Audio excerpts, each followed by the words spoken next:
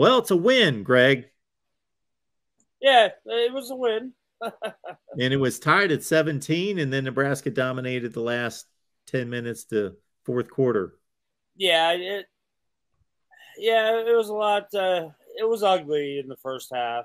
Um, and uh, I think Nebraska made some changes at halftime and uh, really kind of came out uh, fired up and and pretty much dominated that whole second half. So, um, you know, you'll take it, uh, but I, I just where from where I was, I was in the end zone, um, standing next to a state trooper as uh, it's going into halftime, tied at seven, and I, I I was talking to the trooper, and I was like, I wonder how many of these people that are leaving right now to go out uh, for halftime are going to come back. And you know what? They came back. So um, yeah, Nebraska played well in the second half. Uh, you know, the defense picked them up a little bit, and um, yeah, they finished it out. And I think it was a tough week anyway, just leading up to the game with. Uh, you know the travel lag from coming back from Ireland, and a lot of people got sick. I, my myself, I got sick as well. Um, the day after we did the show last week, I wasn't feeling very good. Um, I'm still not over it. So, yeah, you know, there were a lot of things that went into. I, I think the performance in the first half, but uh, you know, at least it, hopefully, hopefully, and this is just me saying and, and some other people's opinions that, that maybe uh, uh, their performance in the second half got them excited and, and, and they're ready to go for Georgia Southern here uh, this Saturday night. Well, Greg, here's one thing that uh, has been figured out about this football team. We talked about the running back position the entire offseason and tried to figure out who's going to get carries and how is that all going to get worked out. Well, Anthony Grant – he's the man. He is the man, and uh, he was dragging folks all over the field on Saturday.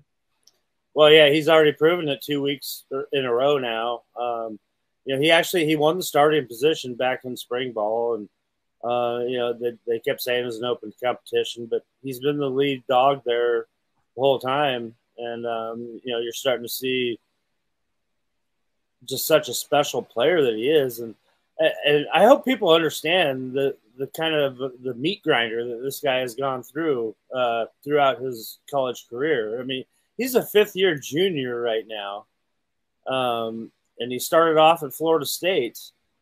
And uh, you know, when, when, there was a coaching change there at Florida State, um, he basically was shown the door, and um, then he went to JUCO in Kansas and uh, had an incident there and uh, ended up having to leave there and ended up at, at, at uh, New Mexico Military and was the junior college player of the year last year. And you, you can see why now. You, you can see why. And, it's kind of funny how he kind of landed into Nebraska's lap. Um, and so, yeah, he's been a special story. And, you know, it's kind of funny. I mean, people are already kind of anointing him and everything. It's two games, but you know what? You can tell when a dude's a dude you can tell when he comes to walking into the door, and um, he's got that kind of potential, and um, it, it's going to be exciting to see. I mean, you know, granted that was that was a pretty pr- impressive performance against North Dakota, but um, you know the, the competition is going to get a little bit stiffer. But he showed it against Northwestern as well, so.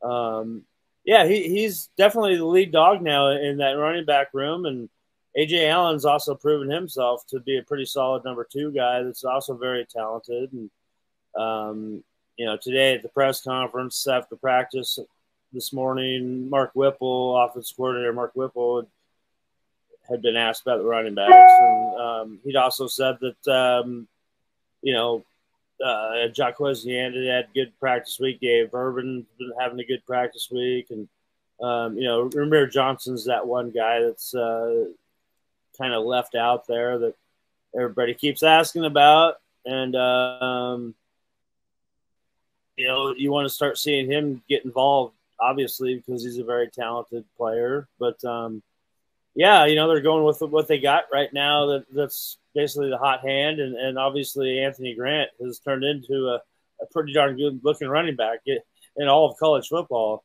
uh, through two weeks of play.